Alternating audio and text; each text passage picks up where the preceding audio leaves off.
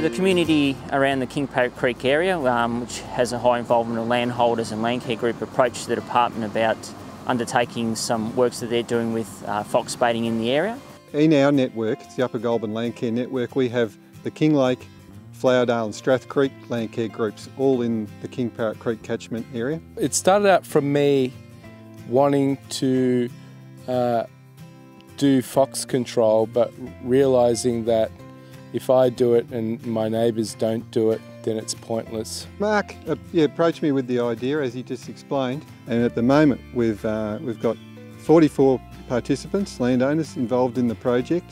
The dogs that we're using uh, in this trial, they're online from Phillip Island and their job is to locate fox scats uh, and at times also dens as well. Um, we've got two English Springer Spaniels, like the working strain, um, and we use, we've selected those purposely. Um, they've got a different hunting pattern than some other dogs. They quarter quite a bit, so you get good coverage and they're quite thorough. Show me. Yes.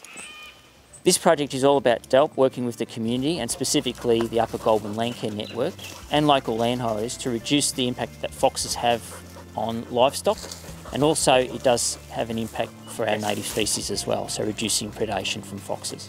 This is how you go about doing uh, environmental programs by bringing people together. Having such large areas of public land around us as well and having DELWP just as committed to controlling foxes in these areas with different techniques um, to support what we're doing and vice versa is really important